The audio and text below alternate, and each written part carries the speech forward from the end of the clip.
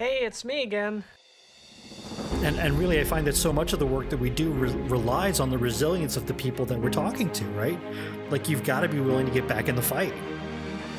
The only person or thing in the universe that, that Hulk is afraid of is Banner. Any more at home like you? Uh, not really, no. Hey gang, what's up? Frank Fradella here, and you're listening to The Frank Fradella Show. I can do this all day. Yeah, I know. I know.